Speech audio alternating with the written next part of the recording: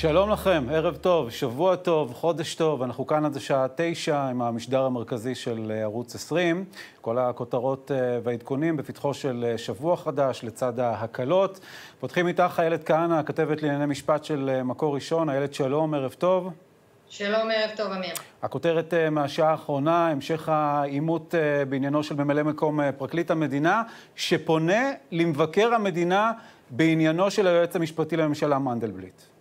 נכון, אמיר, זה היה צפוי. אה, הוא אה, שלח אה, איזושהי הודעה, הפיץ הודעה ביום חמישי האחרון בעקבות באמת הפנייה של מנדלבליט לנציב שירות המדינה, כך שלדעתו מכל מיני טעמים משפטיים וגם מטעמים שנוגעים למקצוענות אישית של דן אלדד, ממלא מקום פרקליט המדינה, לא ניתן להאריך את כהונתו.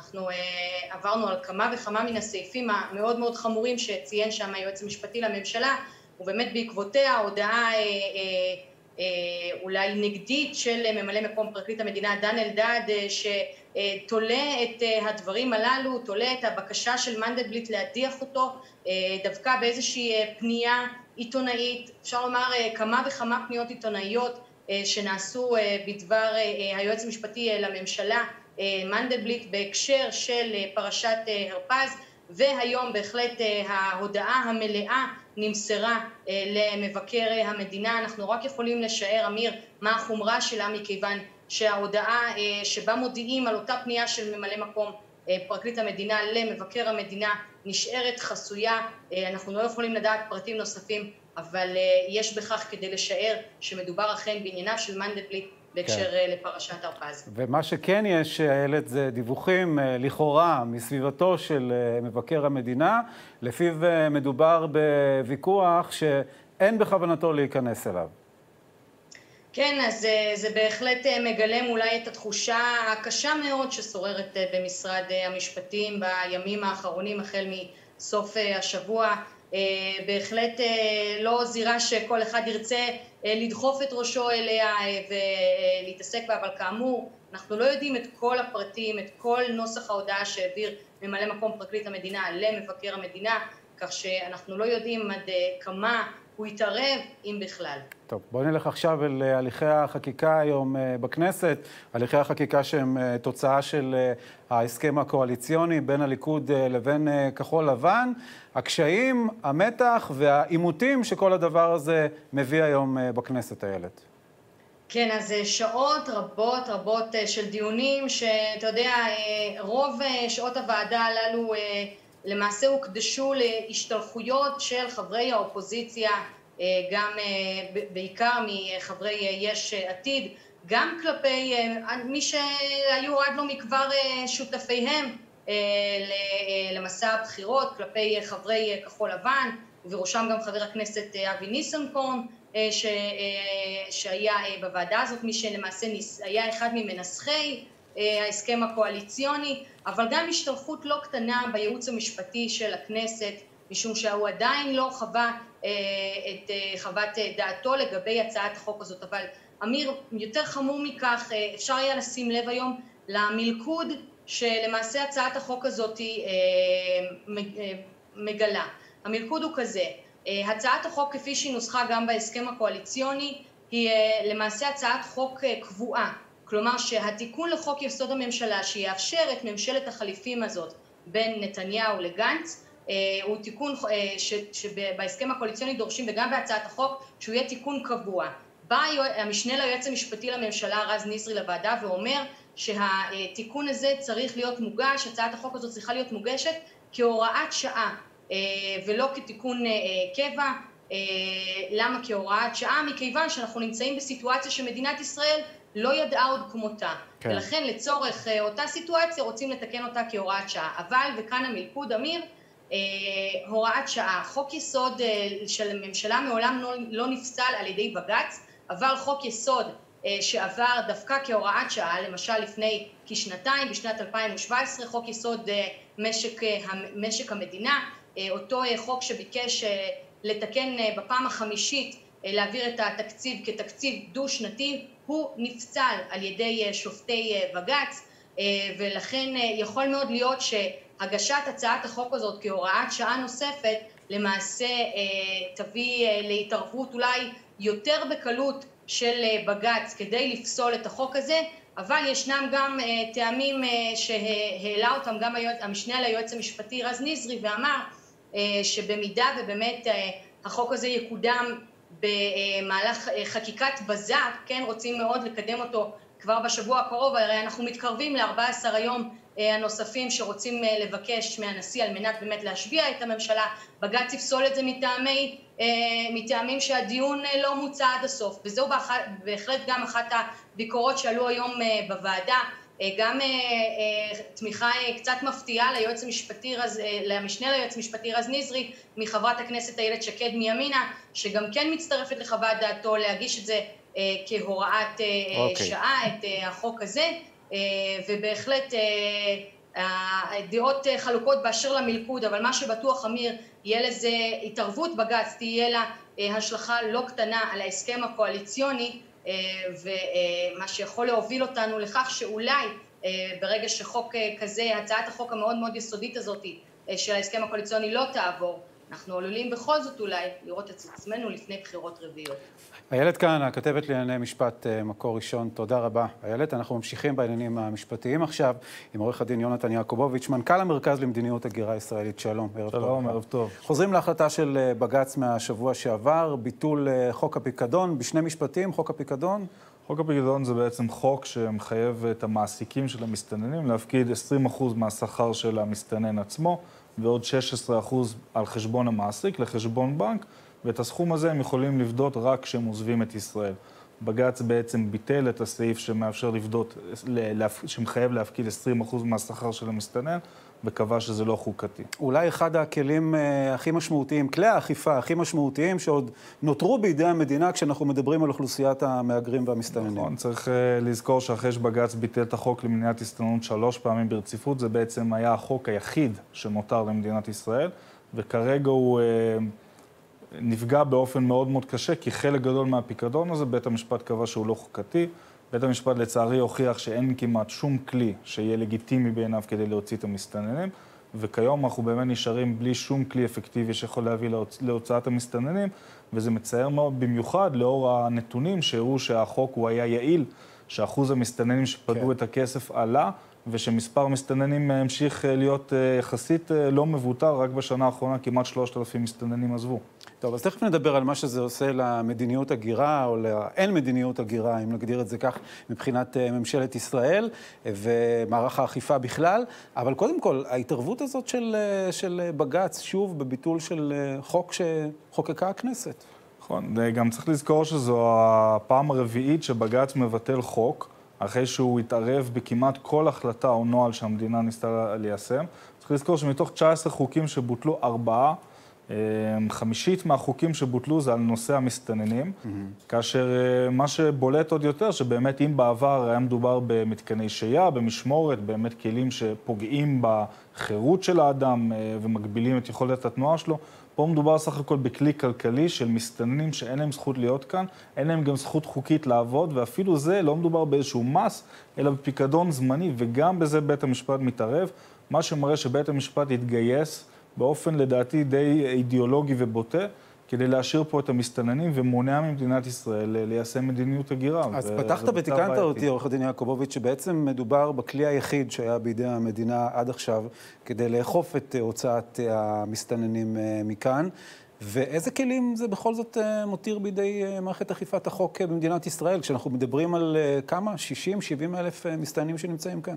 המספר הרשמי הוא לא כולל ילדים, הוא 34, כ-34 אלף, המספרים הלא רשמיים לצערי הם יותר גבוהים. Mm-hmm. אבל uh, בהחלט, uh, בעיקר אחרי שבג"ץ גם פסל את, ההסג... את ההסכם עם המדינות השלישיות, כיום, uh, חוץ מאותם 16 אחוזים, שזה בוודאי לא יהיה מספיק תמרץ יציאה משמעותית, אה, אה, אין לנו כלי, ולכן מאוד חשוב להבהיר אה, שאנחנו באמת בנקודה שהמחוקק חייב לתת את דעתו על כך. לצערי, בהסכם הקואליציוני אנחנו לא רואים שום התייחסות לכך, ובעיניי הגענו למצב ש, שהמשחק הזה, המשחק המשפטי נגמר. זה משחק נטו פוליטי.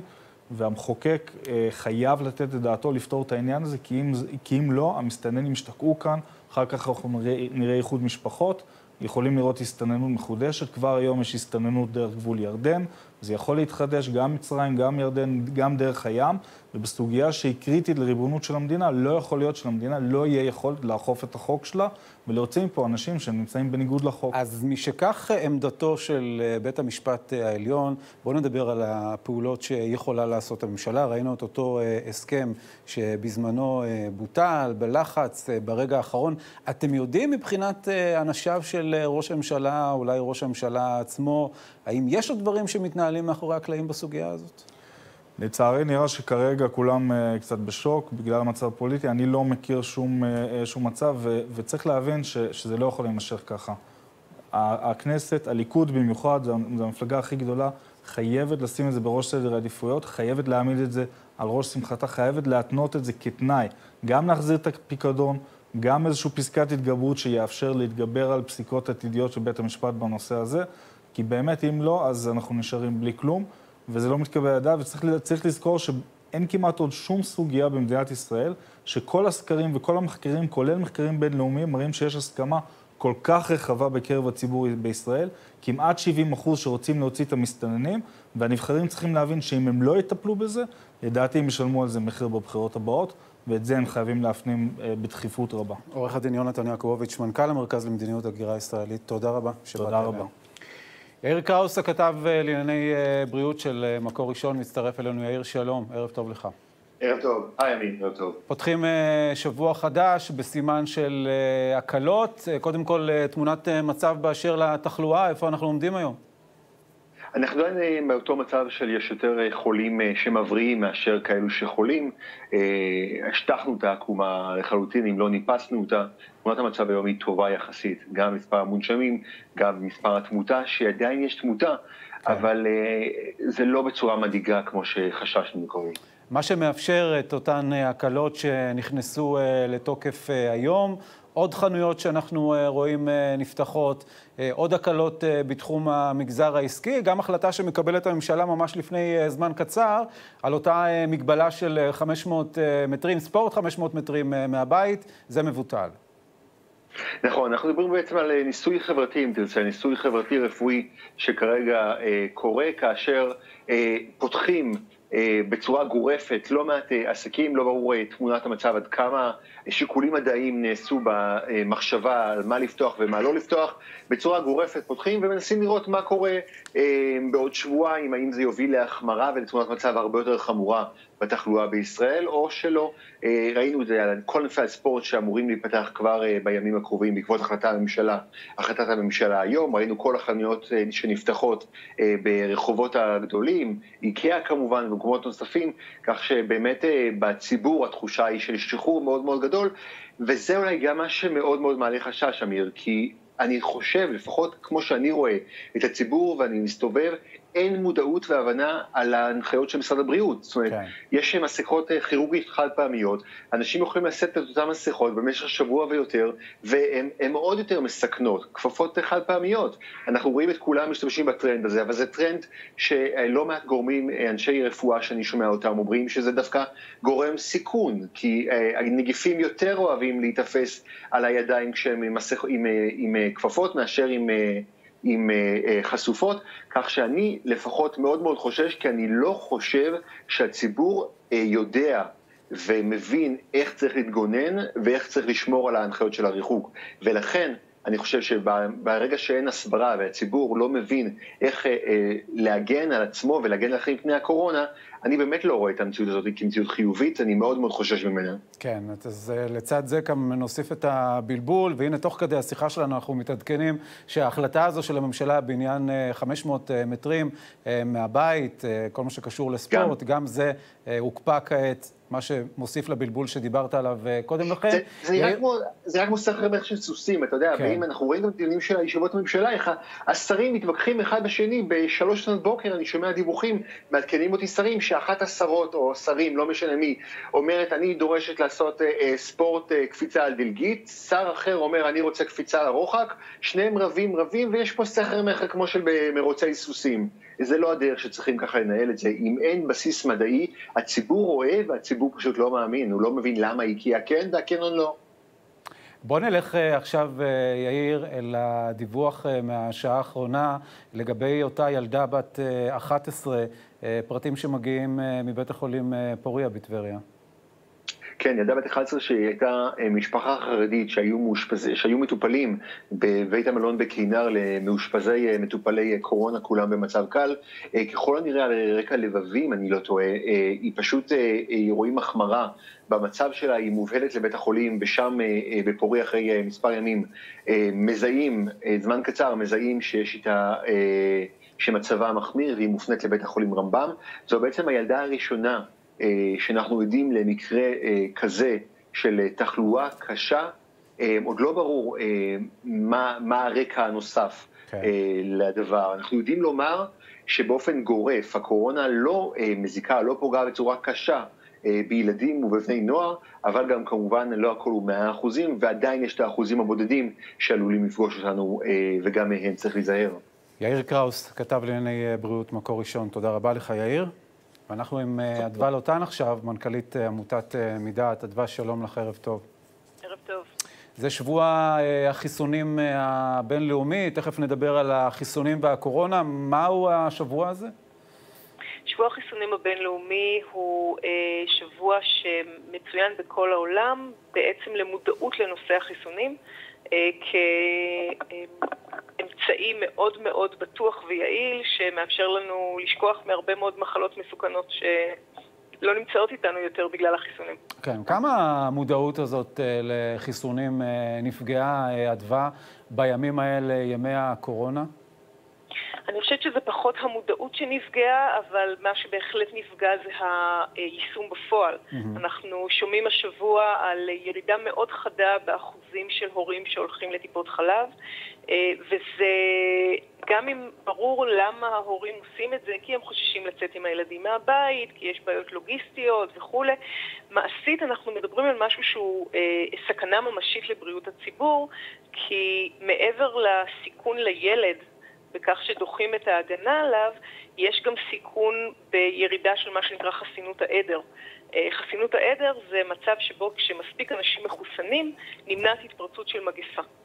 והחשש העיקרי, גם במשרד הבריאות וגם אצל אה, אה, מומחים לבריאות הציבור בכלל, הוא מהתפרצות חוזרת של חצבת בישראל, כמו שהייתה פה לפני שנתיים וחצי. עכשיו, החשש הזה של ההורים להגיע לטיפות החלב, לבצע את אותה סדרת חיסונים שכולנו מכירים ומיישמים אה, עבור הילדים שלנו, זה דבר אחד שפוגש אה, על ציר הזמן גם אותה אה, מחאה שראינו אה, הקורונה, של אותם, אה, אותה קבוצה קטנה של הורים שאומרים לא נחסן את הילדים שלנו, השילוב של שני הדברים האלה יחד מסוכן. זה נכון, למרות שאני לא חושבת שאפשר לייחס את הירידה הנוכחית שאנחנו רואים אה, דווקא לזה, מכיוון שההשפעה שלהם היא, לשמחתנו, קטנה וזניחה אה, בישראל, ו... אה, אני חושבת שהמודעות לנושא של חיסונים, בוודאי חיסוני גיל שנה, אה, היא יחסית גבוהה בישראל, ואני חושבת שאת הירידה הנוכחית צריך לייחס דווקא לקורונה, והמסר, אני חושבת, להורים הוא שטיפות החלב עובדות בצורה מאוד בטוחה כרגע, מותאמת כן. לנסיבות אה, ומיישמת את כל כללי הריחוק הפיזי, ושאסור לדלג על זה, אסור לדחות את זה, וחייבים לחסן את הילדים בזמן. אני מודה לך מאוד. תודה רבה, אדווה לוטן. תודה, ערב טוב. תודה רבה. דוקטור אה, שי פיין, שלום לך. ערב טוב. מנהל מערך הרדמה, חדרי ניתוח וטיפול נמרץ אה, ואחראי מרפאת הכאב בבית החולים אה, אסותא באשדוד. אנחנו רואים היום, דוקטור פיין, את החזרה לשגרה, לפחות של אה, חלק מהמגזר העסקי. מה קורה בבתי החולים באותם אה, טיפולים, אה, מרפאות שעוסקות בטיפולים, ניתוחים שאינם דחופים? ובכן, לצערי, אין פה אחידות מטעם ההתנהגות של המדינה. אנחנו עדיין ממתינים. משרד הבריאות עדיין לא הסיר את המגבלה שהוא קבע לנו לפני למעלה מחודש וחצי, כמעט חודשיים, על אה, ביצוע פעילות אלקטיבית שהלכה והידרדרה בהדרגה, והחולים אה, הולכים ונפגעים. כל פעילות שקוראים לה פעילות אלקטיבית, יש איזושהי קונספציה שגויה שמדובר בדברים שאפשר להמתין איתם, דברים שאפשר לעכב אותם עד אין קץ, אבל כל יום שנוקף הבריאות של המטופלים נפגעת. אז תן לנו דוגמה כזאת לטיפול שעל פי הרפואה הוא מוגדר כזה כטיפול אלקטיבי, שהוא לא דחוף, אבל עיכוב כזה של חודש וחצי, עוד מעט חודשיים למעשה, זה משהו שכבר יכול להיות מסוכן. דוגמאות האלה קיימות למכביר. ניתוחים מתחום הכירורגיה הכללית, כמו ניתוח כיסי מראה, ניתוחים לתיקון בקעים, בואו ניקח את הדוגמה של אוכלוסיית הילדים, תיקון בקע, תינוקות קטנים מאבחנים להם בקעים, כן. זה לא מוגדר כפעילות שעומדת בהגדרות של משרד הבריאות, אבל כל יום שחולף, בקע כזה יכול להיקלע, ואז זה מגיע למצב של סיכון התינוק וסיכון הילד. ניתוחים אורתופדיים, החלפות מפרקים, ניתוחי עמוד שדרה, שחזורי שד בנשים שלא עלינו נאלצו לעבור ניתוחים של כריתות שדיים, כל הדברים האלה מבחינת משרד הבריאות, אנחנו עדיין עומדים בהמתנה, מחכים עד לאישור, וכל יום כזה שעובר יש לו משמעות מאוד מאוד ניכרת כלפי הבריאות של החולים. עכשיו, כשההסבר, דוקטור פיין, של משרד הבריאות למהלך מרחיק הלכת הזה לפני כמעט חודשיים, היה שבתי החולים צריכים להתמקד בפעילות שלהם נגד הקורונה. בנקודת הזמן הנוכחית הזאת, שאנחנו רואים את תמונת התחלואה בישראל, יש איזשהו סיכון בכך שבתי חולים יתפנו לטפל גם במקרים הדחופים הללו שאתה מדבר עליהם? אז התשובה היא לא. התשובה היא שמה שנכון היה בפרק הזמן אז, הוא כבר לא נכון היום. לא ידענו אז מה יהיו ממדי המגפה, והיינו צריכים להיכנס לשלב מאוד אינטנסיבי של מוכנות. אבל עכשיו בתי החולים, אני יכול לתת את הדוגמה של בית החולים שלנו, באסותא אשדוד.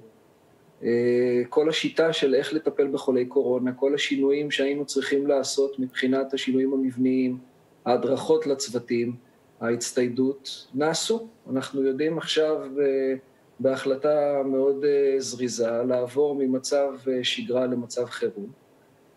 והדבר, המסר המשמעותי, שבזכותו אנחנו יכולים לבוא ולהגיד למטופלים, זה בטוח שתגיעו לבתי החולים, זה הנושא של למידת ההתמגנות. שימוש במסכה על ידי אנשי הצוות, שימוש במסכה על ידי המטופלים. בנינו גם מסלולים שהם נפרדים למטופלי קורונה ומטופלים שאין להם קורונה. אנחנו יודעים לנהל את הכל בצורה מקבילה, ואני בטוח שבבתי חולים אחרים המצב זהה למצב שקיים אצלנו. עכשיו רק נשאר שמשרד הבריאות יעשה מעשה ויקבל את ההחלטה המתאימה. דוקטור שי פיין, בית החולים אסותא באשדוד, תודה רבה ששוחחת איתנו. תודה רבה לכם, ערב טוב. ערב טוב. יוצאים להפסקת פרסומות וחוזרים מיד.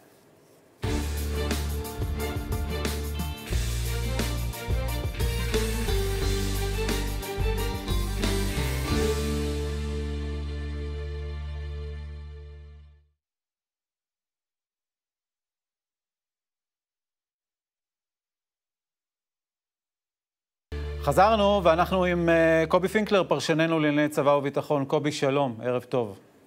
שלום אמיר, ערב טוב. אז זה שבוע בסימן יום הזיכרון ויום העצמאות. האירוע הראשון היום, הרמטכ"ל מניח דגלון על קבריהם של הנופלים בהר הרצל. נכון, גם מניח דגלון וגם משגר מסר. מסר מאוד ברור, מסר מאוד חד, מסר מאוד נוקשה, מבין את המצב. אבל אומר זאת המציאות, איתה צריך להתמודד. וזה אומר לאותן משפחות שכולות, שלא מתכוונות לקבל את ההנחיה הזאת, את ההוראה הזאת, את הקביעה החד משמעית, אל תגיעו לבתי העלמין. שכן, אמיר, ממחר בשעה ארבע אחר הצהריים, לא יוכלו אנשים להגיע, לפקוד את בתי העלמין, את כל 53 בתי העלמין ברחבי הארץ, ולא משנה אם זה הר הרצל עם כל הגודל האדיר שלו לצערנו, וזה לא משנה אם זה בית עלמין קטן, בכל המקומות הללו, ממחר בשעה ארבע אחר הצהריים, לא תתאפשר גישה. מה שזה עשה בפועל, היום בדקתי את זה בשטח, נסעתי להר הרצל, ראיתי שם את הפעילות, גם של החיילים, גם של החיילות. אתה רואה אותם ניגשים לכל משפחה שמגיעה, ונותנים לה פרח, ונותנים לה זר, ונותנים לה בקבוק מים או נר, ומניחים על כל הקברים של כל 23,850 מהנופלים, את הדגלון של צה"ל ומדינת ישראל עם סרט שחור עליו, וזה פרוס בכל בתי העלמין, וזה פשוט מרגש לראות את זה, וזאת האמירה של מערכת הביטחון, אנחנו דואגים, ובכל אחד מ-53 בתי העלמין יהיה נציג של צה"ל בדרגת אלוף או תת-אלוף, ואיתו קבוצת חיילים, יגידו את הקדיש, יגידו את כל הפעילות, אבל מבקשים בצורה הכי ברורה שישנה, אל תגיעו לבתי העלמין כדי לא להתעמת איתכם. לכן, לכן היום בבוקר אפשרו את זה, אחר הצהריים אפשרו את זה, מחר במשך הבוקר מאפשרים את זה, ואנשים אכן מימשו את היכולת הזאת ומימשו את האפשרות הזאת ומימשו את הרגש שלהם להגיע לבתי העלמין, אבל ממחר אחר הצהריים, כאמור, הכל יהיה סגור, אל תנסו את מערכת הביטחון, פשוט לא נעים. כן, קובי, בוא נלך עכשיו אל הזירה הצפונית, אל אה, סוריה. מה קורה שם? מה אפשר לומר על מה שקורה שם? אפשר לראות אה, בצורה משמעותית ביותר שצה"ל הולך ותוקף שם, לפי הפרסומים, לפחות הזרים, אבל גם כאשר אתה מחבר את כל הנקודות, אתה מבין שישנה שם פעילות חריגה מאשר הייתה רק לפני שבועיים, שלושה או אפילו חודש. מישהו במרחב הצפוני הזה הבין שהסיפור של הקורונה מבחינת האיראנים הוא להסיט את האש, כדי שלא יסתכלו עליהם מה קורה אצלכם בתוך המדינה, וכדי להסיט את האש מתוך האזרחים עצמם, גם באיראן, הם אה, ממשיכים אה, וביתר שאת לעשות הרבה מאוד פעילות שלא הייתה לפני כן. והפעילות הזאת אומרת של העברת חומרים ורכיבים לפרויקט הטילים המדויקים. וכאשר אני מקבל תמונת מצב מהארגונים השונים בסוריה, כולל ארגוני האופוזיציה, ואתה מאמת אותם עם לווייני מחקר שמשוטטים מעל המזרח התיכון, ויש כאלה לא מעט, אבל יש כאלה גם שמשתפים פעולה איתנו, אתה מקבל תמונת מצב שבה, לפי התמונה הזאת, יש יותר ויותר אה, תקיפות, יותר ויותר פעילות של מדינה כלשהי במרחב הזה, כדי למגר את כל המחשבה הזאת האיראנית, סורית, כן. אה, לשגר את החומרים הללו ללבנון. לכן, גם בשבוע שעבר שמענו על זה בצורה מפורטת יותר, אבל אני יכול לגלות לך הערב הזה, אמיר, שישנה הרבה מאוד פעילות גם מתחת לפני השטח, כי כדי להגיע למידעים האלו צריך הרבה מאוד פעילות.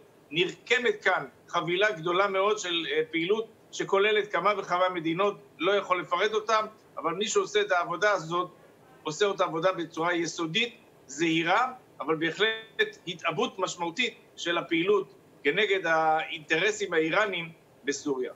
קובי פינקלר, פרשננו לענייני צבא וביטחון, אה, תודה רבה לך.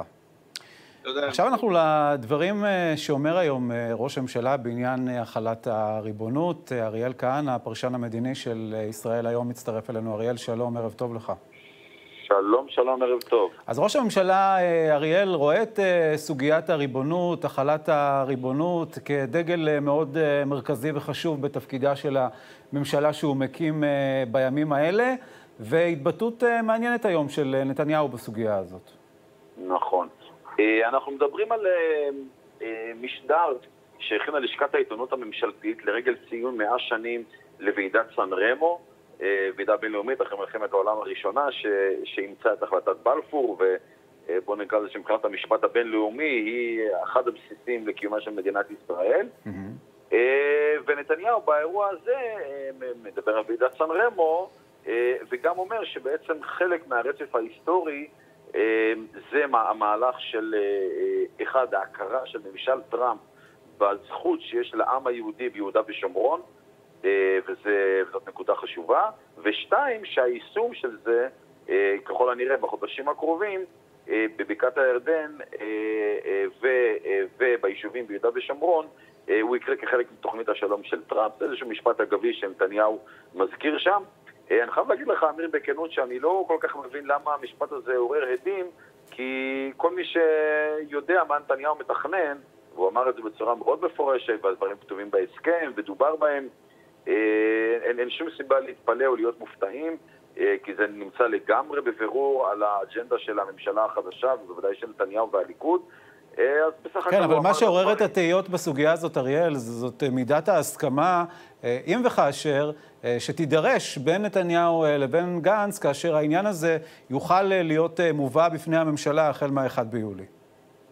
אז תראה, קודם כל בהסכם כתוב בצורה מאוד ברורה שלנתניהו יש את האפשרות להביא את זה כבר באמת, כמו שאמרת, עד מ-1 ביולי, mm-hmm. להביא את זה לממשלה, להביא את זה לכנסת, ושהוא חייב להתייעץ עם גנץ, אבל לא כתוב בשום מקום שהוא חייב לקבל את ההסכמה של גנץ.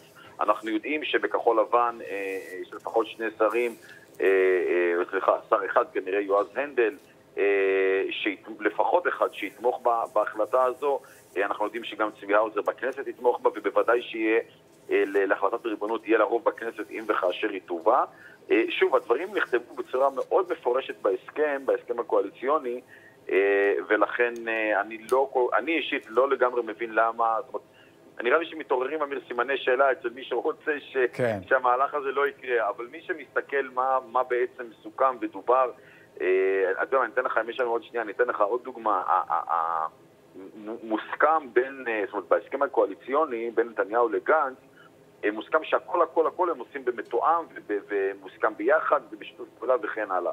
רק הנושא של הריבונות הוא דבר שמוחרג החוצה, שלנתניהו יש את הזכות להביא אותו באופן עצמאי כבר בתקופה הקרובה, בתקופת ממשלת החירום, בחצי שנה הראשונה. אז רק, אפילו אם אתה קורא את הסעיף הזה, אתה מבין שנושא הריבונות הוא, הוא חריג, הוא מיוחד, הוא נמצא לגמרי בראש סדר העדיפויות, ונתניהו היום אמר בסך הכל משפט אחד, שמצהיר על כוונותיו, ואני חושב כוונותיו הידועות. אבל גם כי אנחנו מדברים על סעיף שיש בו קושי ופער מאוד מאוד גדול בין השותפים העתידיים, בין אם ניקח את מי שהגדיר את עצמו כסמן השמאלי של הממשלה הזו, שר התעשייה המיועד, עמיר פרץ, שמתנגד, אנחנו יודעים, לכל מהלך כזה של סיפוח והחלת ריבונות. תראה, אני... בוא, בוא, בוא, בוא נראה מה יקרה. אני למדתי בחיים שלי לראות, אגב, בוא נחכה לראות קודם כל שתקום ממשלה, בסדר? לא, אני אומר... גם זה בסימן שאלה, אוקיי. אני אומר לך, סתם, תראה, בוא, זה קצת נושא אחר. אני ממש לפני כמה דקות, בשם דיברתי עם אחד מהשרים המעורבים. הוא אומר לי, תשמע, הדיון שהיה היום בכנסת, אני לא יודע אם אתה מסכים בזה, באותו חוק שנועד להסדיר את הרוטציה בין גנץ לנתניהו וכולי, התנהל בצורה כושלת למעשה מצידם של אנשי כחול לבן. והוא אומר, בלוח הזמנים שנשאר לנו, בסך הכל משהו כמו עשרה ימים, לא בטוח שכחול לבן יספיקו לחוקק את החוק. ומחכה לנו החלטת בג"ץ. ואת כל הפרוצדורה הזאת בכלל לא בטוח שאפשר להספיק בעשרה ימים שנשארו. אז צריך לחכות, ועוד בוא נראה מה בג"ץ יגיד. צריך לחכות ולראות שהממשלה המשונה הזאת, תסלח לי, בהרכב שלה, צריך לחכות ולראות שהיא קמה. טוב. גם כשהיא תקום, בואו נראה מה יגיד כל שר ושר. אני, במילה אחת אני אזכיר לך שבסוף התוכנית הזאת, המהלך של נתניהו, הוא דומה מאוד למה שעשתה מפלגת העבודה המקורית בשנות ה-70, תוכנית אלון. אה, זאת הייתה האג'נדה של מפלגת העבודה.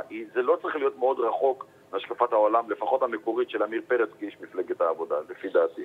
טוב, אבל אמרת לנו הרבה עכשיו עם סימן השאלה הזה באשר לעתידה.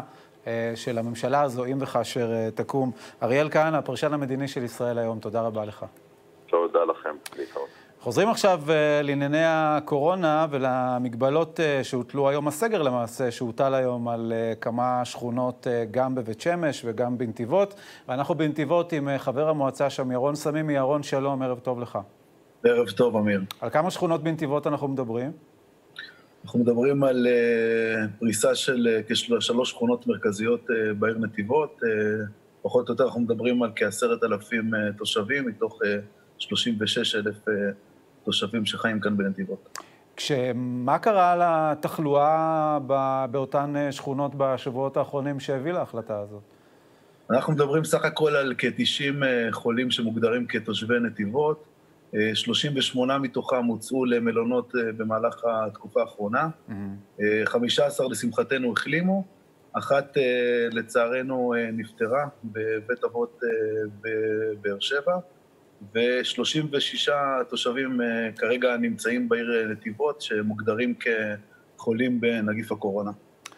ואותם 36 לצערי מסרבים להתפנות מהעיר. בחוסר אחריות, למרות שהוצאו להם מאוד הרבה חלופות מסודרות ומונגשות ומותאמות להם. לצערי, בגלל אותו מספר, אנחנו כרגע נאלצים להתמודד עם אותה, אותו הסגר. מה, מציאות ממש בלתי נתפסת בהקשר הזה. אתה אומר, בגלל קבוצה קטנה של אנשים שמסרבים להתפנות, חולים שמסרבים להתפנות, סגר על אותן שכונות, מה, באותו מודל שראינו בבני ברק, אנשי פיקוד העורף שמחלקים מזון וכן הלאה? ממש, כן, אותו מודל אה, אה, כמו בבני ברק, רק אה, כמובן הרבה יותר מצומצם מבחינת היקף. אנחנו עד אתמול, אני יכול לשתף אותך שעד אתמול ראש העיר כאן בחן אפשרות להגיש עתירה כנגד אותו, אותו הסגר. אנחנו ביקשנו קצת התחשבות במצב ושיאפשרו לנו ביחד עם המשטרה וביחד עם גופי אכיפה לנסות להתמודד עם אותם 36 אה, חולים, ובכלל לעשות פה, להגביר את האכיפה בעיר כאן אה, בנתיבות, ובמידה שזה לא היה מצליח בפועל, אז אה, להטיל את אותו סגר שלדעתנו הוא ממש מיותר. אה, ופוגע כאן בהמון המון תושבים בשגרת היום שלהם, לצערנו. גם בשגרת היום של התושבים וגם נתיבות, אנחנו יודעים, אה, ירון, שהפכה להיות אה, מרכז כלכלי מאוד חשוב שם במערב הנגב, בכל מה שקשור למסחר, לתעשייה, ואני יכול להניח שחלק מהדברים שחזרו היום לשגרה במקומות אחרים, לא חזרו לשגרה אצלכם. נכון, נכון. יש פה באמת מציאות מורכבת שמצד אחד באמת רוב... החברה הישראלית חזרה היום לשגרה מסוימת, וכאן בנתיבות היה בלבול מאוד אה, אה, לא פשוט אה, בקרב התושבים, וכמו שאמרת, באמת נתיבות היום הפכה לסוג של מטרופולין אה, לכל המושבים והיישובים אה, שנמצאים כאן אה, מסביב, אה, וחבל שכך. אני באמת אה, כולי תקווה שאולי אה, הנושא תוך כדי תנועה ייבחן, ולפחות אחרי, מיד לאחר יום העצמאות, אה, לפחות יחזירו אותנו כמו כולם אה, כן, לשגרה. לחיים האמיתיים. נצטרף לתפילה הזאת אה, שלכם. ירון סמימי, חבר מועצת עיריית אה, נתיבות, תודה רבה. תודה, אמיר, ערב טוב. תודה רבה לך. ושלום לך, עורכת הדין אה, רבית גרוס. שלום, ערב טוב. מנכ"לית התאחדות המלאכה והתעשייה. מי נמצא בהתאגדות הזאת של התאחדות המלאכה והתעשייה? אנחנו מייצגים 40 אלף בעלי עסקים קטנים וזעירים, מענפי התעשייה המסורתית וגם נותני שירותים, כמו ענפי היופי, קוסמטיקאיות, ספרים, מעצבי שיער. מיקרופיגמנטציה זה איפור קבוע. Mm-hmm. בעצם 40 אלף בעלי עסקים קטנים, עצמאים, אה, שבעצם הם ה... המשבר הזה הוכיח שלמעשה הם החוליה החלשה אה, בכל המשק הישראלי. אתה יודע, זו זעקה שאנחנו זעקנו הרבה שנים, ואף אחד לא התייחס, אבל היום פתאום כולם מבינים שבאמת מה שאמרנו הרבה שנים זה נכון. הם למעשה, העצמאים הם בעצם החוליה הכי חלשה בכל המערכת, אין להם אבא ואימא, אין להם מי ששומר עליהם, הם נשארו ללא גב כלכלי, בלי ימי מחלה, בלי דמי אבטלה, פשוט לבד במערכת. והם הכלכלה והם המעסיקים המשמעותיים בסופו של דבר, חלק מאוד uh, מרכזי בכלכלה הישראלית. אני מסכימה. עכשיו, כמה מתוך uh, האנשים שאת uh, מייצגת הורשו היום לחזור לעבודה, להפעיל את העסקים שלהם מחדש? אז יש, יש הרבה עסקים ש, שחזרו לעבודה, אבל אני חייבת לומר ש, שהנקודה שגם החזרה לפעילות לעבודה היא עדיין לא מספיקה. כי אמנם יש חזרה לפעילות בעבודה, אבל יש צ'קים ובורות כלכליים שנשארו עוד מהתקופה של חודש וחצי, ש, שאנשים לא עבדו. אני חייבת להגיד שבדרך לכאן שמעתי שעוד בעל עסקים uh, קטן uh, שם קץ לחייו. uh, בעקבות מצב כלכלי בשוק קשה. בשוק מחנה יהודה. בדיוק. כן. ואני חייבת, קודם כל זה אסון, זה באמת אסון. ואני חייבת להגיד שאנחנו בהתאחדות המלאכה והתעשייה פתחנו חמ"ל לבעלי עסקים על מנת להנגיש את המידע מהרשויות, וגם לקבל מידע מהשטח, לראות מה קורה. ואני אומרת לך שאני נתקלת כל יום בבקשות ובקשות לסיוע ומצוקה של בעלי עסקים קטנים. לפני שבועיים התקשרה אליי אה, קוסמטיקאית שאמרה לי, רבית, יש לי בארנק 200 שקלים, אין לי איך ללכת לסופר. המצב הוא קשה. לכן גם אם פתחו עכשיו את, ה, אה, את, ה, את החנויות, את המסחר, את הפעילות היצרנות, זה עדיין לא מספיק, כי יש בורות כלכליים אה, שעדיין יש להם, הם צריכים עוד לשלם, וזה נותר פתוח. עכשיו, גם המענקים... כי יש תחושה שמה, שמנסים uh, להחזיר את המשק, אבל uh, לא לתת את הפיצוי המלא על אותו חודש וחצי שהלך לאיבוד, ועבור הרבה מאוד עסקים, צריך להודות, זאת uh, מכת מוות. כלומר, זה לא משנה אם עכשיו ניתן כותרת, חזרנו לשגרה, העסקים האלה לא חוזרים, אין להם שגרה, הם לא יחזרו לשגרה. נכון. אני קודם כל שמחה שהמדינה סוף סוף שמעה את הזעקה של העסקים ובעצם פתחה את העסקים, אבל זה רק צעד אחד מיני הרבה, הרבה צעדים שצריך לעשות. אתה צריך להבין שבעצם המשבר הזה תקף אותנו מה-15 למרץ, ואנחנו היום נמצאים בסוף אפריל. למעשה חודש וחצי יש עסקים שבכלל לא קיבלו ולו שקל אחד. המענק הראשון, שהוא למעשה הפעימה הראשונה, ניתן למעט מאוד עסקים. Mm-hmm. הקריטריונים שם היו הזויים לגמרי, אין לי מושג איך משרד האוצר, מי, מי ממשרד האוצר בכלל חשב על הקריטריונים האלה. אה, נראה שהוא היה ממש מנותק מהשטח. למעשה יש בעלי עסקים שאין להם את אורך הרוח לחכות חודש וחצי כדי לקבל את, ה, את הכספים האלה, ולכן לאט לאט הרבה יותר ויותר בעלי עסקים אה, לא מצליחים לשרוד את זה. אנחנו, שוב, קוראים מכאן, חייבים לטפל בכל הנושא הזה של דמי מחלה לעצמאים, דמי אבטלה. אני יכולת להגיד לך גם עכשיו, ברגע שהעסקים האלה פתוחים, חס וחלילה בעל עסק חולה במחלת קורונה. נדבק, כי, כי הוא עובד ונדבק. מה קורה בסיטואציה כזאת? מי מגן עליו? מי שומר עליו? ימי מחלה אין לו. גם אם הוא נמצא בבית והעסק אה, סגור, מי משלם דמי אבטלה במידה והוא רוצה לסגור את העסק? המצב הזה לא יכול להימשך, לא אנחנו לא יכולים יותר להיות לבד. המדינה צריכה לעזור, אין, אין ברירה. אז אולי יש אה, צדק באותה מחאה של אה, בעלי הרשתות אה, הגדולות, שאומרים, אנחנו במצב הקיים, כל עוד לא קיבלנו אה, פיצוי על הנזק אה, שנגרם לנו, לא מחזירים לעבודה את החנויות שלנו, למרות שאנחנו אה, יכולים. בדרך נפגעים עובדים, אבל יש כאן באמת אה, דבר שצריך אה, לטפל בו. אני חושבת שאני מסכימה מאוד עם המחאה הזו, ואני חושבת שעצם זה שהחנויות הגדולות בעצם, אה, אה, הם, הם בעצם הספקים של, של העסקים הקטנים. ברגע שהם, אה, ברגע שהם סוגרים, גם העסקים הקטנים צריכים לסגור. הנקודה היא שלעסקים קטנים, בשונה מעסקים גדולים, אין את אורך הרוח, כמו שיש לעסקים גדולים, כמו חברת פוקס, חברת קסטרו, הם לא יכולים לאפשר לעצמם להישאר סגורים, ולכן ברגע שנתנו להם לפתוח, לא הייתה להם ברירה אלא לפתוח. אבל אני מאוד מבינה את המחאה של העסקים הגדולים, ברור? עורכת הדין רבית גרוס, מנכ"לית התאחדות המלאכה והתעשייה, תודה רבה. תודה לך. אלינו.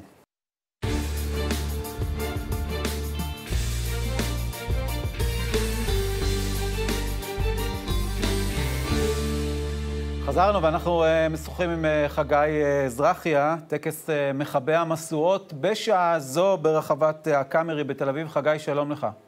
שלום וברכה. ספר לנו על האירוע הזה. אנחנו אה, ועד הפעולה למען אה, חיזוק התעשיית, התרבות והאירועים. יזמנו טקס, עוד אחד מחלק אה, מהמחאות הגדולות שאנחנו עושים, כדי שהממשלה תעזור לנו. זה טקס שאנחנו מדליקים עכשיו 12 משואות, שכל משואה היא חלק גדול מהעולם שלנו, אם זה טכנאי סאונד וברמנים ושחקנים וזמרים. וסטנדאפיסטים ובוני הבמות וטכנאי תאורה ומפיקים ומפיקים טכניים שמקיפים את הכל. אנחנו הראשונים שיצאנו, שהפסקנו לעבוד ואנחנו האחרונים שנחזור לעבוד אפילו אחרי, אחרי אה, חברות התעופה. אין לנו שום אופק קדימה, שום עזרה. ויש הערכה, חגי, כמה נפגעים אה, יש בענפים האלה שציינת קודם לכן? יש כ-200 אלף אה, עובדים אה, בתוך הענפים האלה של אה, עובדים, וזה לא משפחות, זה מעל 600 אלף, כולל המשפחות והילדים שלהם, שייפגעו, ואין להם לאן לחזור. אין חברות, כאילו, אם, כל המשק יחזור בש, בשבועיים שלוש הקרובים לעבודה, אנחנו לא חוזרים. אף אחד לא יאשר לנו התקהלויות, ובטח לא חתונות של 200 או 300 איש, ובטח לא פסטיבלים של 3,000 ו-5,000, או הופעות בפארק הירקון של 50 אלף איש, לא, בטח ובטח לא בשנה הקרובה. איזה חלק מתוך זה... הקבוצה הזאת אה, זוכה למענה במסגרת אותם אה, מענקים, אה, כרגע, פיצויים שהממשלה מציעה? כרגע אף חלק מהקבוצה הזאת לא זוכה לא למענקים ולא לפיצוי ולא להלוואות כן. ולא לשום דבר. זה הכל מילים, דיבורים, סיפורים, ושום דבר לא קורה ושום דבר גם לא יקרה, וגם אם, אם נזכה חלקנו לאיזושהי עזרה בחודש הקרוב, אנחנו, יש לנו ארבעה או חמישה חודשים קדימה שאין לנו עבודה. כן. כל אחד יצטרך למצוא דברים חדשים. יש פה אנשים בעלי חברות עם 120 אה, ו-150 עובדים, אנשים אה, מעל גיל 50, שזה מה שהם עשו בשלושים שנה האחרונות. הם יצטרכו למצוא דברים אחרים, אם בכלל.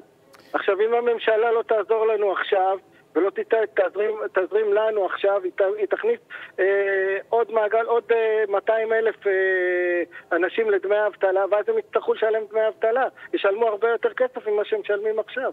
כן, וממש השבוע הזה, אירועי יום העצמאות, שאני יכול להניח, אה, גם הם אה, אותם ימים, אותם אירועים שהביטול שלהם מסב נזק. בימים אלה, בימים כן. אלה, כל אחד בעולם התעשייה הזאת, ואם היו עוד עובדים, כן? אין לו שנייה לישון. אנחנו בזמן הזה, בחודש הזה, אנחנו עובדים גם בערב יום הזיכרון, ואנחנו עובדים גם ביום הזיכרון עצמו, ואנחנו מכינים הכל בשביל יום העצמאות, אנחנו עובדים חודשים לפני זה. וכל התעשייה יושבת מתה, לא עושה כלום, כלום ושום דבר, כולם כולל כולם. ואין לנו גם אופק, כלום. אפילו, ב, אפילו ב, ב, בארצות הברית, אצל טראמפ הקפיטליסט, הוא הזרים לתעשיית התרבות אה, מאות מיליארדי דולרים. מאות מיליארדי דולרים. פה אין מצב, כלום. תמונת מצב עגומה מאוד. טקס מכבי המשואות, ממש בשעה זו בתל אביב. חגי אזרחיה, תודה רבה לך. תודה רבה לכם. ושומע את הדברים האלה אוריאל לין, נשיא איגוד אה, לשכות המסחר. שלום, ערב טוב לך, אדוני. שלום וערב טוב לכולם. מרלין, אפשר אה, לנסות אה, להעריך את סך כל הנזק עד כה למגזר העסקי כתוצאה מהקורונה? הנזק הוא אדיר, אף אחד לא, בכלל לא חושב שיש פה נזק שהוא קל ערך, זה מאות אלפי עסקים, אני אומר מאות אלפי עסקים כבר נפגעו קשה. בעיקר בתחום המסחר והשירותים, נפגעו קשה מאוד, ובואו נביא בחשבון, מיליון מאה אלף מועסקים היו מובטלים, מכולם באים מאיפה? רק מהמגזר העסקי הפרטי במדינה. אז יש לך כאן סיטואציה שאני אומר כרגע, היא תביא לשבר חברתי. אנחנו מפלגים את העם, פשוטות המשמעות. מה זה אומר? מיליון מאה אלף איש, שכולם באים מהמגזר הפרטי, בעוד שיש לנו ממול מגזר ציבורי גדול. ועד כה, עד היום הזה, המגזר הציבורי לאמיתו של דבר לא תורם, ואני אסביר מה אני מתכוון, כי זה מקור הבעיה. ואני חושב שקצת מתעלמים ממקור הבעיה. מקור הבעיה הוא המקורות, מאיפה יבוא הכסף. למה פקידות האוצר מתנהגת כפי שהיא מתנהגת? למה היא כל כך זהירה? למה היא כל כך מנסה לתת מה שפחות, לא לעשות תיקויים מבניים כמו שצריך? משום שהיא לא מאמינה שיש לה מקורות. עכשיו בוא נחשוב רגע אחד על המגזר הציבורי שלנו. רגע, זה, זה, רק, זה נובע מ, רק מכך, מרלין, זה נובע רק מכך שהם אה, לא מבינים מספיק בעניין המקורות, כפי שאתה אומר, המקורות התקציביים, או גם העובדה שיש שם מידה, אני רק אשלים את השאלה, גם העובדה שיש שם אה, מידה מסוימת של אה, זהירות, לאור העובדה שגם בנקודת הזמן הזאת אנחנו לא יכולים לראות את גודלו של המשבר ועד כמה הקורונה הולכת ללוות אותנו, מי יודע לכמה זמן. אבל זו הבעיה העיקרית, תראה, הגבר שדיבר מקודם הציג פה את הבעיה. כן. לא ייתכן שהיום, לאחר שכולנו כבר הוכינו במשבר הקשה מתחילת מרץ שנה זו, אבל אנחנו כמעט חודשיים בתוך המשבר הזה, רק עכשיו תהיה תוכנית שבאים ואומרים לך, תתחיל להגיש בקשות ב-15 למאי למשך 90 יום. מה זאת אומרת? פיצוי רטרואקטיבי. וזו כאן השגיאה האיומה. הפיצוי צריך לתת על ציר הזמן. הפיצוי צריך לתת משהו יותר מהר, אולי בשיטה יותר פשטנית. אם היית רואה, הייתם כותבים את התוכנית שהוצבה היום, כן. בשביל לתת השתתפות בהוצאות קבועות לעסקים עד 20 מיליון, את הנוסחאות, המקדמים, התנאים וכל הקשור בכך, הייתם אומרים, ריבונו של עולם, מה קורה פה? הרי צריך להיות משהו ברור וחד. עכשיו, הנקודה היא, לא זה שהפעם הראשונה אנחנו מתמודדים עם בעיה כזאת, התמודדנו עם בעיות כאלה. התמודדנו במלחמת לבנון השנייה ב-2006, וקבענו מסלול של פיצוי על פי ירידה במחזור העסקים וההכנסות. ושכללנו את השיטה הזו, והיא קיימת. אז במקום ללכת ולקחת משהו שכבר נוסה והצליח ועבד טוב, אז אומרים בואו נחכה ונראה מתי המשבר ייגמר. אז אתם אומרים, אז אתם בלשכות המסחר, מרלין, אומרים בעצם לקחת את אותו מודל של אה, פיצוי מימי אה, לחימה. הזכרת את מלחמת לבנון אה, השנייה, אנחנו נזכיר כמובן גם את הלחימה בדרום. גם שם יושם המודל הזה באשר לעסקים. בהחלט. וליישם אותו לגבי כל העסקים. כולם, ללא הבדל של גודל, ללא כל החלוקות הפנימיות האלה שעושים עד עכשיו עד 300 אלף, מתחת ל-300 אלף, מ-300 אלף עד 20 מיליון מחזור וכדומה וכדומה, זה לא עובד כך. גם עסקים שהם קצת יותר גדולים מעסיקים אנשים, גם הם יוצרים מקומות עבודה. יש פה שיטה, ושוב אני חוזר, אני מוכרח לומר, שהבעיה המרכזית, שלא התייצבה פה היום ממשלה, ואמרה, חבר'ה, אנחנו כולנו צריכים להשתתף, זה לא יכול להיות שרק המגזר העסקי הפרטי יישא בכל העול והמועסקים שם. בואו גם אנחנו ניתן את חלקנו. מה זה לתת את חלקנו? אנחנו יודעים שהיום בתקציב המדינה יש לנו פנסיות שאינות מאוד, פנסיות גבוהות מאוד. אנחנו יודעים שיש פנסיות כפולות, אנחנו יודעים שיש חריגות שכר במגזר הציבורי, אנחנו יודעים שיש הוצאות מיותרות. אז אי אפשר היום להתחיל לקצץ בהוצאות, ואני לא מדבר כרגע לפגוע בשירותים, אבל לקצץ בהוצאות, להעביר מקורות, מהמגזר הציבורי שלנו למגזר העסקי הפרטי. אז אם אתה נמצא היום במצב שמיליון מאה אלף מועסקים, הם כולם מהמגזר העסקי הפרטי, ואף לא אחד מהמגזר הציבורי, אתה מפלג את העם. הדברים ברורים. אוריאל לין, נשיא איגוד לשכות המסחר, תודה רבה לך. אני מודה לכם מאוד ולכל הבת שלנו. עכשיו אנחנו להחלטה אה, דרמטית מאוד אה, של אה, בית המשפט המחוזי בירושלים, רבע מיליארד שקלים מכספי הרשות הפלסטינית שיועקלו ויועברו למשפחות נפגעות טרור. עורכת הדין ניצנה דרשן לייטנר, שלום, ערב טוב לך. ערב טוב, חצי מיליארד שקלים. חצי מיליארד כן. שקלים, הנה אנחנו מתקנים. כן. נשיאת ארגון שורת הדין, ספרי לנו על ההליך הזה. אמ, זו למעשה תביעה שהתחילה בתחילת האינתיפאדה השנייה, בשנת 2000, האירוע המפורסם של הלינץ' ברמאללה, שני החיילים שנהרגו ושהגישו תביעה, משפחתם, כנגד אה, הרשות הפלסטינית. אט-אט התווספו תביעות נוספות, 17 במספר, mm-hmm. שנידונו בבית המשפט המחוזי בירושלים, ולאחרונה, לפני קרוב לחצי שנה, קיבלנו פסק דין שבו בית המשפט מוצא את הרשות הפלסטינית אחראית לכל סדרת הפיגועים. עכשיו אנחנו דנים בשאלת הנזק.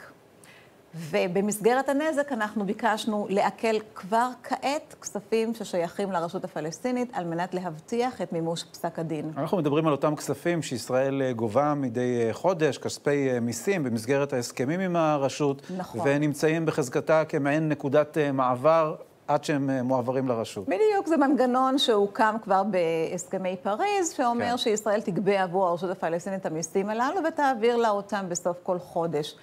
היום ישראל גובה כ-600 מיליון שקל בחודש, ומעבירה את זה לרשות הפלסטינית. העיכול שאנחנו ביקשנו להטיל, ובית המשפט בסופו של דבר נעתר לו, הוא חצי מיליארד שקל, 500 מיליון שקל, תשלום של כמעט חודש אחד, שכרגע יוקפא במשרד האוצר. עד אשר אנחנו נקבל את פסק הדין שלנו, שאני מקווה שיהיה ממש בזמן הקרוב, ונוכל לממש את הכספים. עכשיו, עיכול אה, מקביל אה, לעניין הזה מתנהל גם בכל הסוגיה של אה, הכספים שמועבר, שהרשות הפלסטינית מעבירה למשפחות מחבלים וישראל מקזזת. כלומר, אנחנו מדברים מאותו מקור תקציבי במרכאות, נכון? נכון, נכון. כאן אבל ההליך הוא שונה. כאן אתה בא ומגיש תביעה כנגד המחבל שביצע את הפיגוע. ואז אתה מבקש לעכל את המשכורת שהוא מקבל, ומאחר והרשות הפלסטינית לא תעביר לך את המשכורת שלו, אתה הולך ומעכל את הכספים במשרד האוצר. זה הליך טיפה יותר מסורבל, אבל המקור הוא אותו מקור. בשורה התחתונה, באה מערכת בתי המשפט במדינת ישראל ואומרת, אם הרשות הפלסטינית או מחבל כלשהו ביצע מעשה ואחראי לביצועו, הוא גם אחראי לפסול את הקורבנות בגין הנזק שנגרם. והאמירה היא מאוד פשוטה. הדם יהודי אינו הפקר יותר, וצריך לשלם. ומי שמשלם זה מי ששילח את המחבל, מי שכיוון אותו, מי שנתן לו נשק, מי שמממן אותו היום בבתי הכלא, או מהמשכורת שהוא מקבל. והתשלום נעשה לקורבנות, למי ששילם בחייהם, מי שהקריב את חייו, מי ש...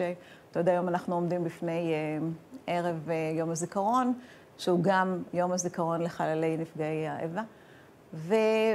בזכותם אנחנו פה. זו משמעות סמלית מאוד להחלטה הזאת. אה, עכשיו, אז צריך לומר, עורכת הדין אה, דרשן לייטנר, שהתנהלות אה, דומה מול הרשות הפלסטינית מקיים ארגון שורת הדין, ממש כחלוץ לפני המחנה, גם בבתי משפט בחוץ לארץ. נכון.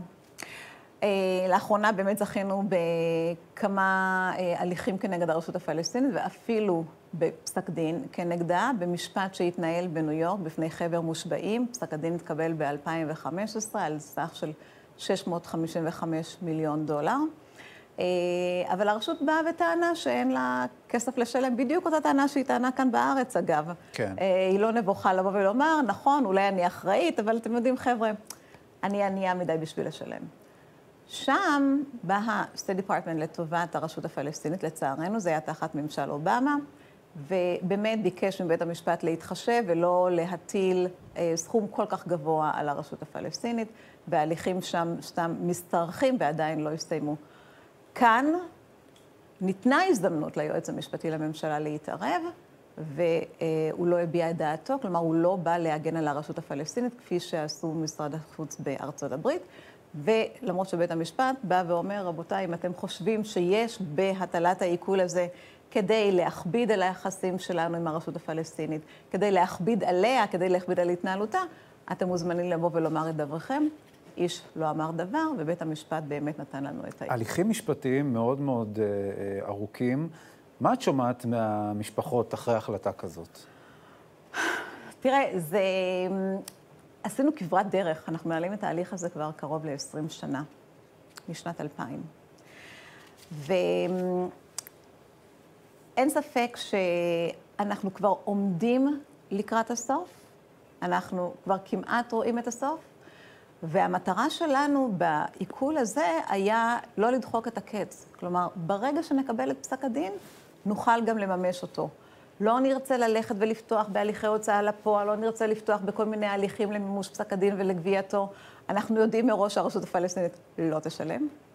אנחנו יודעים מראש שאנחנו נצטרך לפתוח הליכים ואנחנו רוצים להימנע מכך. לכן, העיכול הזה בא לאותת לקורבנות שהנה, הכסף פה, אנחנו נגמור את ההליך, אנחנו נקבל פסק דין בעזרת השם, ואנחנו נוכל גם לממש אותו. כן, ובעיקר ש... זה נותן ש... להם בהחלט אה, סיפוק טוב. תראה, אף כסף אין בו בשביל להחזיר חיים, אבל הכסף יש בו מידה של צדק עם קורבנות הטרור. מידה מסוימת של צדק. אני מודה לך מאוד, עורכת הדין ניצנה דרשן לייטנר, נשיאת ארגון שורת הדין. תודה רבה לך. עכשיו אנחנו uh, ממשיכים את הפרידה מישעיהו uh, הבר, שהלך uh, לעולמו בשבוע שעבר, מת מקורונה, מי שייסד את ארגון מתנת חיים, שסייע לכל כך הרבה אנשים שהיו זקוקים לתרומות כליה, ואנחנו עוד מעט נשוחח עם מי ש... תרם כליה במסגרת המיזם, הפרויקט החשוב הזה של ישעיהו אבר, ונשמע גם האם הפרויקט הזה יימשך בעתיד. עוד מעט זה יקרה, קודם הפסקת פרסומות.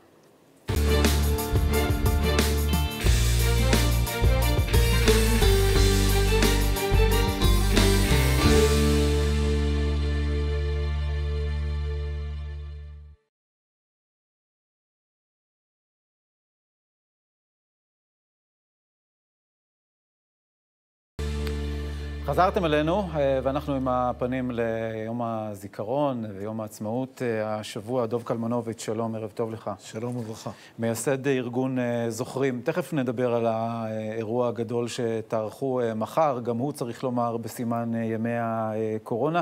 כמה מילים על ארגון זוכרים? ארגון זוכרים למעשה נוסד בעקבות הפציעה שלי. שכבתי בטיפול נמרץ, במחלקת כוויות. ותהיתי לעצמי מה עושים הלאה. אז יש כאלה שמשתבללים בתוך עצמם, יש כאלה, במיוחד אה, פגיעת פנים כמו שלי, נכנסים אה, לבונקר, ויש כאלה שיוצאים החוצה. וארגון זוכרים אה, בא למעשה לתת תרבות אחרת, דרך אחרת לזיכרון. לא עוד לבכות לך למעלה ולהתייאש, אלא לקחת את הכאב, את השכול, את החלל העצום, ולהתקדם איתו קדימה. איך משם אנחנו צריכים. אני יכול להגיד את זה קצת באמונה ובעומק, ההיסטוריה של העם היהודי לא התחילה במדינת ישראל, היא מלווה לאורך ההיסטוריה בהרבה הרבה הרבה הרוגים ונרצחים וקורבנות. ומתוך זה אנחנו חיים ומתקיימים ומתקדמים. אחרי השואה קמה המדינה, ומהמדינה אנחנו מתפתחים לאיפה שאנחנו היום. צריכים לקחת את השכול רק למקום של צמיחה. ואם אתה אה, לוקח לרגע את אה, נקודת הזמן הזאת, ב-31 בינואר 88, אה, עם השלכת בקבוק התבערה שהביא לפציעה שלך, והדרך שעברת ועשית מאז עד ליום הזה ועד לערב הזה מחר, שעוד מעט נגיע אליו, נקודה אחת שאתה בוחר, אופטימית או לא, שהיא בעיניך החשובה ביותר. אה, שאלה לא פשוטה, כי היה, אה, לאורך ההיסטוריה הזאת יש הרבה, הרבה, הרבה נקודות. הנקודה האחת שעליו אני רוצה לספר, היא דווקא הולדת בני הראשון. Mm-hmm. היו לי שלושה ילדים לפני שנפצעתי, ואותו נער שזרק עליי את הבקבוק תבערה, הרי לא חיכה לדוב קלמנוביץ' האישית, הוא לא ידע שאני יושב במכונית, הוא ראה מכונית עם מספר צהוב וידע שיושב בתוכה יהודי, ורצה להשמיד אותי כחלק מהעם היהודי. ואם אני הצלחתי אחרי אה, שנה וחצי, יחד עם אה, רעייתי עדינה, זיכרונה לברכה, להביא ילד נוסף לעולם, ואגב, אותו ילד כבר יש לו ילדים משלו, mm-hmm. זו הנקמה. זו הנקמה. סבא דוב, נקם, אתה אומר. מה יקרה מחר, דוב? אה, האמת היא שהקורונה מאוד מאתגרת אותנו, לא בצד רק ההפקתי, אלא בצד באמת של איך אנחנו זוכרים. התרגלנו עד היום ללכת בהמון לבתי עלמין, לטקסים, למשפחות שכולות, לשבת כולנו ביחד ולבכות, וכמו שאני אומר, גם לצמוח. פתאום השנה אנחנו יושבים לבד. הריחוק הזה. איך אנחנו נזכור אבל? אנחנו התרגלנו לזכור יחד עם כולם, לעלות לבתי עלמין ולראות את האלפים שפוקדים אותם. מה נעשה השנה? וזה האתגר הגדול שעומד בפני כל אחד ואחד שישב מחר בבית, איך הוא יושב עם עצמו, בלי הקהל, בלי ההמון, בלי הצרמוניה הכללית, וזוכר את החלל שלו. וזה מחזיר אותנו בעצם אה, לאירוע שהיית, אה, שנהגת לערוך אה, מדי שנה בבריכת הסולטן, נכון?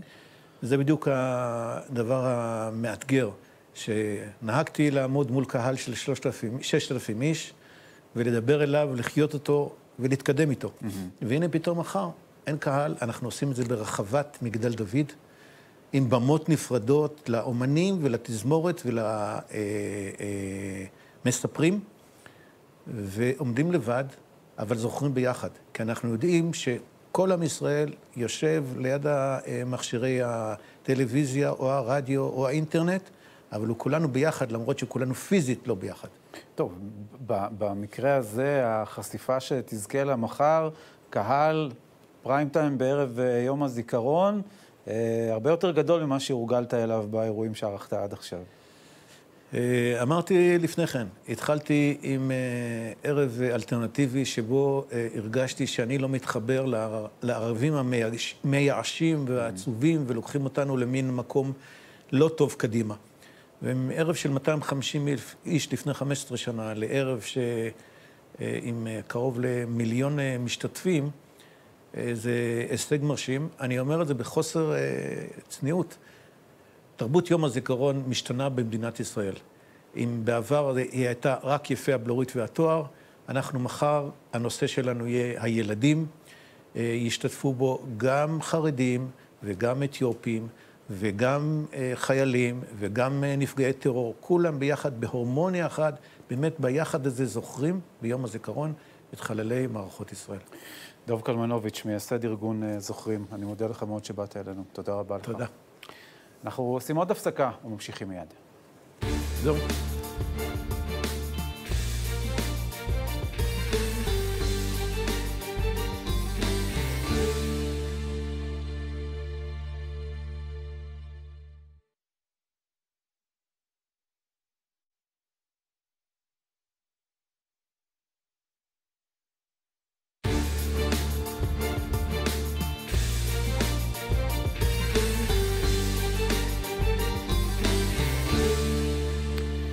חזרתם אלינו, אה, ואנחנו עם הפנים ליום הזיכרון ויום העצמאות אה, השבוע. דוב קלמנוביץ', שלום, ערב טוב לך. שלום וברכה. מייסד ארגון אה, זוכרים. תכף נדבר על האירוע הגדול שתערכו מחר, גם הוא, צריך לומר, בסימן ימי הקורונה. כמה מילים על ארגון זוכרים? ארגון זוכרים למעשה נוסד בעקבות הפציעה שלי. שכבתי בטיפול נמרץ, במחלקת כוויות. ותהיתי לעצמי מה עושים הלאה. אז יש כאלה שמשתבללים בתוך עצמם, יש כאלה, במיוחד אה, פגיעת פנים כמו שלי, נכנסים אה, לבונקר, ויש כאלה שיוצאים החוצה. וארגון זוכרים אה, בא למעשה לתת תרבות אחרת, דרך אחרת לזיכרון. לא עוד לבכות לך למעלה ולהתייאש, אלא לקחת את הכאב, את השכול, את החלל העצום, ולהתקדם איתו קדימה. איך משם אנחנו צריכים. אני יכול להגיד את זה קצת באמונה ובעומק, ההיסטוריה של העם היהודי לא התחילה במדינת ישראל, היא מלווה לאורך ההיסטוריה בהרבה הרבה הרבה הרוגים ונרצחים וקורבנות, ומתוך זה אנחנו חיים ומתקיימים ומתקדמים. אחרי השואה קמה המדינה, ומהמדינה אנחנו מתפתחים לאיפה שאנחנו היום. צריכים לקחת את השכול רק למקום של צמיחה. ואם אתה אה, לוקח לרגע את אה, נקודת הזמן הזאת, ב-31 בינואר 88, אה, עם השלכת בקבוק התבערה שהביא לפציעה שלך, והדרך שעברת ועשית מאז עד ליום הזה ועד לערב הזה מחר, שעוד מעט נגיע אליו, נקודה אחת שאתה בוחר, אופטימית או לא, שהיא בעיניך החשובה ביותר. אה, שאלה לא פשוטה, כי היה, אה, לאורך ההיסטוריה הזאת יש הרבה, הרבה, הרבה נקודות. הנקודה האחת שעליו אני רוצה לספר, היא דווקא הולדת בני הראשון. Mm-hmm. היו לי שלושה ילדים לפני שנפצעתי, ואותו נער שזרק עליי את הבקבוק תבערה, הרי לא חיכה לדוב קלמנוביץ' האישית, הוא לא ידע שאני יושב במכונית, הוא ראה מכונית עם מספר צהוב וידע שיושב בתוכה יהודי, ורצה להשמיד אותי כחלק מהעם היהודי. ואם אני הצלחתי, אחרי אה, שנה וחצי, יחד עם אה, רעייתי עדינה, זיכרונה לברכה, להביא ילד נוסף לעולם, ואגב, אותו ילד כבר יש לו ילדים משלו, mm-hmm. זו הנקמה. זו הנקמה. סבא דוב, נקם, אתה אומר. מה יקרה מחר, דוב? Uh, האמת היא שהקורונה מאוד מאתגרת אותנו, לא בצד רק ההפקתי, אלא בצד באמת של איך אנחנו זוכרים. התרגלנו עד היום ללכת בהמון לבתי עלמין, לטקסים, למשפחות שכולות, לשבת כולנו ביחד ולבכות, וכמעט שאני אומר גם לצמוח. פתאום השנה אנחנו יושבים לבד. הריחוק הזה. איך אנחנו נזכור אבל? אנחנו התרגלנו לזכור יחד עם כולם, לעלות לבתי עלמין ולראות את האלפים שפוקדים אותם. מה נעשה השנה? וזה האתגר הגדול שעומד בפני כל אחד ואחד שישב מחר בבית, איך הוא יושב עם עצמו, בלי הקהל, בלי ההמון, בלי הצרמוניה הכללית, וזוכר את החלל שלו. וזה מחזיר אותנו בעצם אה, לאירוע שהיית, אה, שנהגת לערוך אה, מדי שנה בבריכת הסולטן, נכון?